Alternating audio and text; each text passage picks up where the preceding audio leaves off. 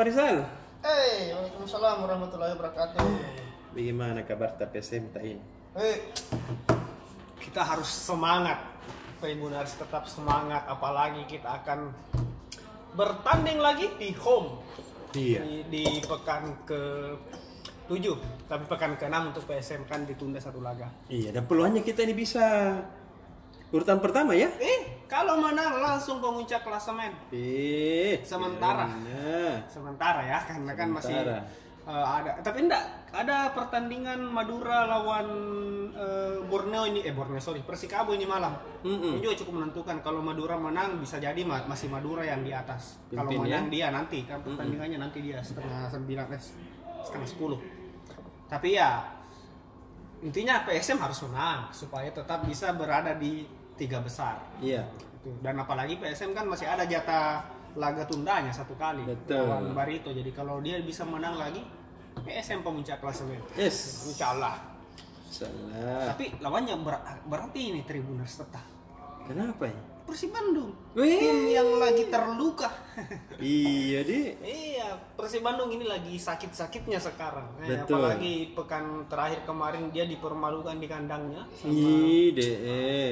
Bali United Mm-mm. 3-2 jadi otomatis Persib ini datang ke Parepare dengan misi untuk memperbaiki lah pementannya Betul. apalagi nanti debut mi pelatih barunya Mm-mm. Coach Luis Milla eh, siapa yang tidak kenal Luis Milla Ada. mantan pelatih, Pelatih topnya internasional itu ya? pelatih topnya timnas Indonesia Korea. iya dan Jepang ya? pokoknya dia pelatih eh, salah satu pelatih top lah di Indonesia Iya. Pernah eh, apa namanya pernah bermain di Barcelona eh Real Madrid. Eh, Mm-mm. pokoknya top lah. Tapi eh, ini bisa menjadi apa ya eh, bagi Persib Bandung? Ada dua sisi di sini.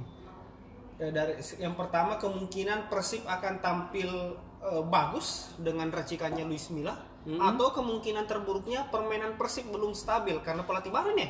Iya. masih mencoba untuk apa namanya eh, Menyesuaikan ya, diri. menyesuaikan dengan strategi barunya Luis Milla karena Dengan pasti- materi pemain. Iya, dengan materi pemain karena pasti akan beda sekali eh, taktik dari Luis Milla Iya. dengan Robert Rene Alberts pasti akan berbeda sekali. Betul. Jadi kalau Persib bisa langsung menyesuaikan diri ya kemungkinan akan ja- sangat Iya. eh, bagus. Tapi jika eh, eh, yang yang saya bilang tadi jika belum bisa menyesuaikan ada kemungkinan PSM yang akan eh, eh, bisa mendapat kemenangan di sana. Apalagi PSM juga datang dengan apa ya meskipun kemarin ya kita harus tersingkir di FC. eh, AFC Cup. Tapi eh, menurut coach Tapares itu kemarin kita sudah tampil sangat-sangat bagus dan Iya. ini jadi modal ya seperti inilah ciri ciri khasnya katanya PSM seperti ini yang kemarin kita lihat meskipun kalah ya tetap bermain menyerang, tetap Mm-mm. mampu mencetak gol juga kemarin Betul. dua gol.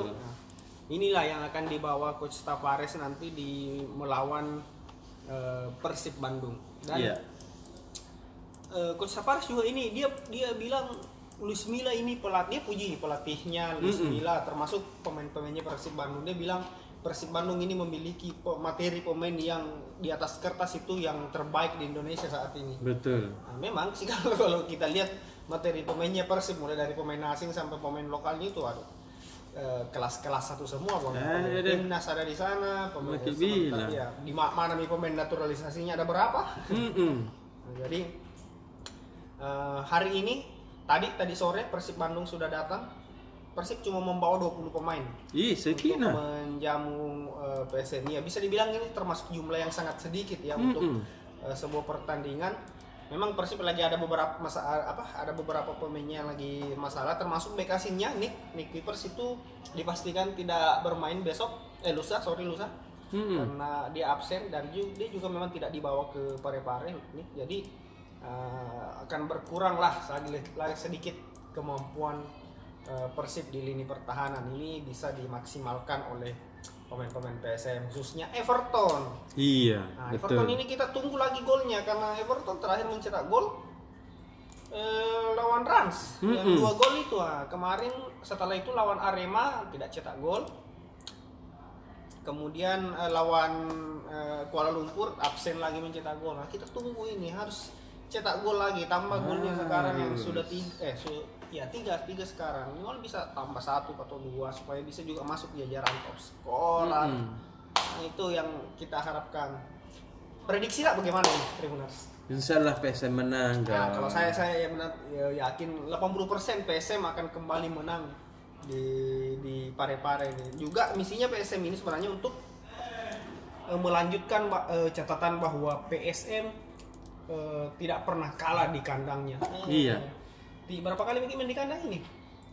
Tiga kali, sudah tiga kali main Tiga di kali. kandang, dua kemenangan dan eh, satu hasil seri Persija Jakarta dan kita ingin memperpanjang catatan eh, Kemenangan. catatan kemenangan atau catatan bagus di laga kandang Betul. dan melawan tim besar karena ini yang menarik ini dari PSM karena empat laga kandangnya klub besar semua langsung ngelawan Iya. pertama lawan Bali. Hmm. nah kita menang. Lalu kemudian lawan Persija.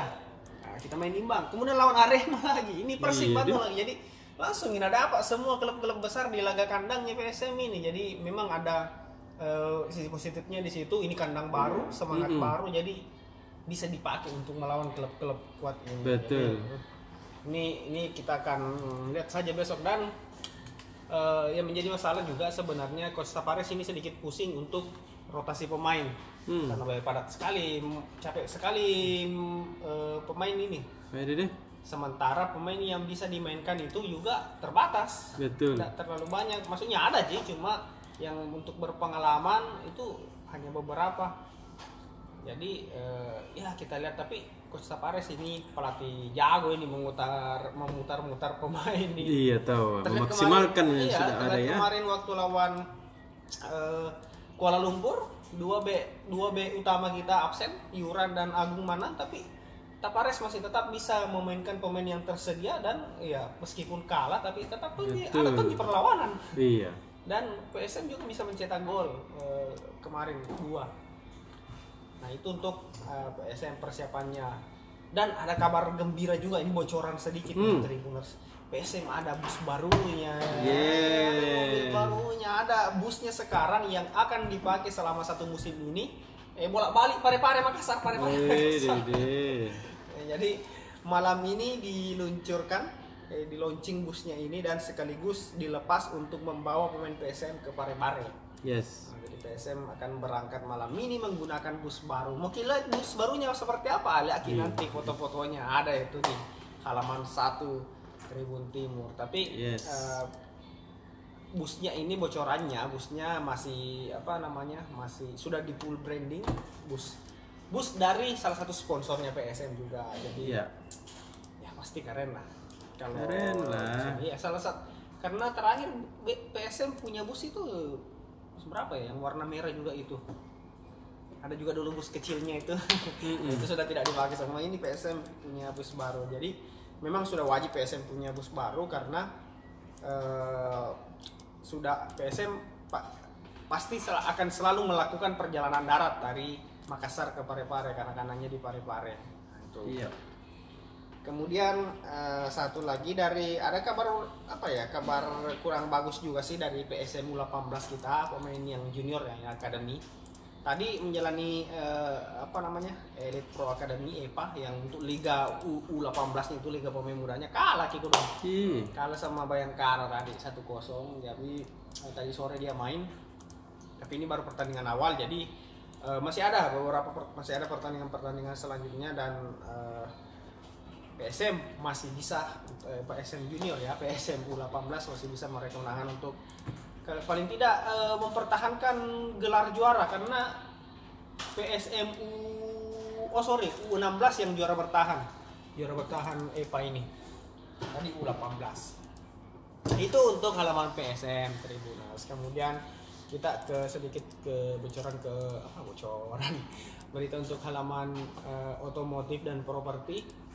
Eh, ini kan yang lagi gosipnya ini akan naik harga BBM Iya. perta pertalite dan solar kabarnya pekan depan sih diumumkan dan mudah-mudahan tak jadi lah Iya deh. karena kita sebagai pengguna bahan bakar pertalite ya pasti akan terpengaruh juga nah eh, menurut asosiasi apa eh, di di Jakarta penjualan BBM ini nantinya juga akan mempengaruhi penjualan eh sorry harga BBM akan menjual, mempengaruhi penjualan sepeda motor. Mm-mm. Ya, Jadi pasti kalau tuh. ah, kalau naikin nanti beng harganya ini pertalite di pas bisa kemungkinan besar penjualan sepeda motor akan eh, terpengak berkurang karena dia berkaca dari tahun 2000 2005 Hmm. BBM kala itu naik penjualan sepeda motor anjlok. Turun drastis pas BBM itu naik itu dari harga berapa dulu itu ya? Ke harga berapa? Nah, jadi eh, diprediksi penjualan sepeda motor akan turun kalau pertalite benar-benar eh, naik harga. Nah kemudian untuk properti eh, yang masih butuh rumah-rumah baru kita terus menyajikan atau memberikan eh, referensi-referensi rumah baru. Ada salah satu rumah unit rumah baru yang dikeluarkan oleh eh, Mutiara Property di Lagun Lagun Mutiara Property ada unit barunya di sana. Sebenarnya ini rumah rumah lama eh bukan rumah lama bentuknya bentuk lama cuma ukurannya lebih diperkecil diperkecil. Jadi harganya juga bisa lebih terjangkau untuk yang eh, masyarakat yang ingin membeli di mana lokasinya ini rumah dan bagaimana bentuknya. Ada di halaman 6 nanti foto-fotonya di situ. Kemudian apa-apa sih yang kelebihannya itu rumah ada di situ. Oke. Weh, ada Mimo manggilin kayaknya itu juga Oke deh, Kakak Untuk Marisa. Untuk- kemudian Oke. untuk eh, berita-berita lainnya untuk berita Makassar silakan. Iya. Buka koran halaman 8 ada banyak berita-berita soal seputar Makassar oke Tribuners Oke, Oh, dah. Terima kasih sudah nonton. Jangan lupa like, subscribe, dan share ya.